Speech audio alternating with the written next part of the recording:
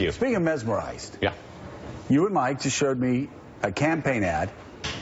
It's one of the best campaign ads Ever. I have ever seen. Yeah. And it comes from what, like a Texas County Texas Commission County race? Commissioner, I, I believe in Houston.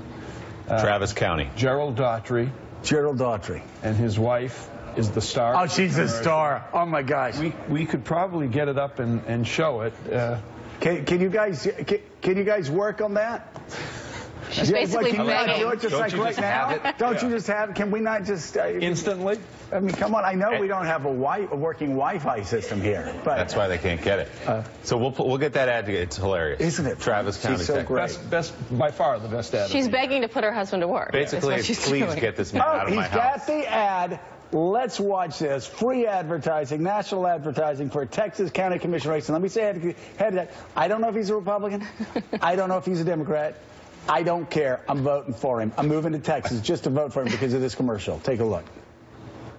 Gerald really doesn't have any hobbies. Last year's tax rate was 0.4169. This year, we could take that down to 3838. So is he always like that? 4169. Yeah, all the time. We got three light rail cars. You can put 60 people on each car. So even if you add two cars, you're talking about maybe 300 people that are affected. There are a million people in this community. I mean, that is 0.01 to the eighth power.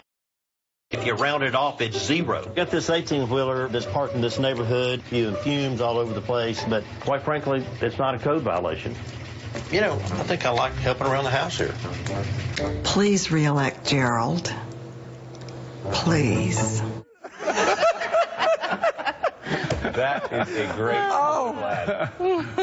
My Travis, God. Travis County is Austin. Yes. Austin, Texas. Okay. And I I don't know what his party is, but that's a good ad. And his wife dying. He's a Republican, His think. wife dying silently. And I love the guy holding a beer while he's talking, like, ta- you know, Tax rate. tax rates. Uh, oh my God, what a great. Those wild dinner parties they have. Oh my God.